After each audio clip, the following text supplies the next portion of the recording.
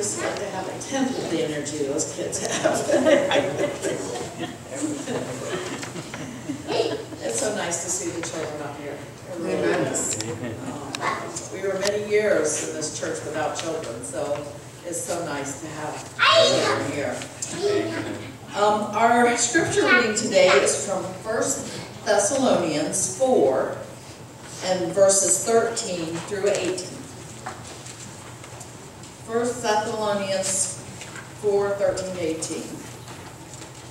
But I do not want you to be ignorant, brethren, concerning those who have fallen asleep, lest you sorrow as others who have no hope. For if we believe that Jesus died and rose again, even so God will bring with him those who sleep in Jesus. For this we say to you by the word of the Lord, that we who are alive and remain until the coming of the Lord will by no means precede those who are asleep. For the Lord himself will descend from heaven with a shout, with the voice of an archangel, and with the trumpet of God, and the dead in Christ shall rise first.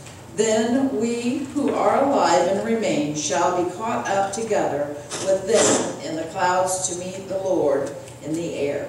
And thus we shall always be with the Lord. Therefore comfort one another with these words. God add a blessing to the reading of his word.